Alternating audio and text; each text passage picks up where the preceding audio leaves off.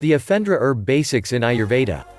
Common names, ephedra, Chinese ephedra, Ma Huang Latin name, ephedra sinica background ephedra is an evergreen shrub-like plant native to Central Asia and Mongolia, it also grows in the southwestern United States. People have used ephedra for centuries in China for colds, fever, flu, headaches, asthma, nasal congestion, and wheezing. The U.S. Food and Drug Administration FDA banned the sale of dietary supplements containing ephedrine alkaloids compounds found in some ephedra species in the United States in 2004.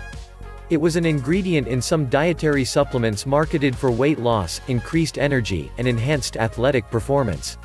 The dried stems and leaves of the ephedra plant have been used to create capsules, tablets, extracts, and teas. How much do we know?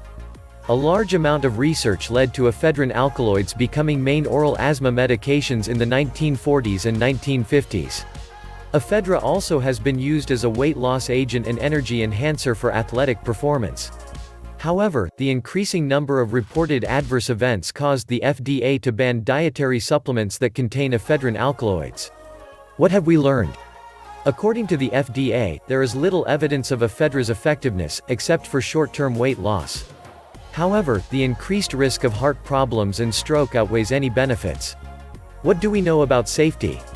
The FDA banned the U.S. sale of dietary supplements containing ephedrine alkaloids.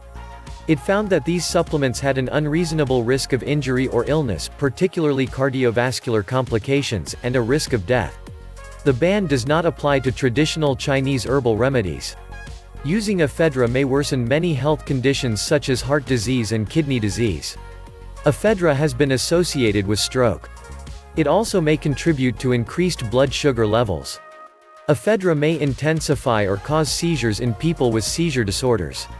Taking ephedra may also cause anxiety, dizziness, difficulty urinating, dry mouth, headache, irritation of the stomach, nausea, psychosis, restlessness, sleep problems, and tremors. Some of these side effects may be associated with long-term use of ephedra. Women who are pregnant or breastfeeding and children should avoid taking ephedra. Ephedra use may lead to serious health problems when used with other dietary supplements or medicines. Combining ephedra with caffeine increases the risk of potentially serious side effects. Keep in mind tell all your healthcare providers about any complementary or integrative health approaches you use. Give them a full picture of what you do to manage your health. This will help ensure coordinated and safe care. Thanks for watching the video. If you like this video then hit the like button below. If you like this type of video then subscribe to our channel by pressing the red subscribe button. If you don't want to miss such videos then hit the bell icon. Thanks for watching.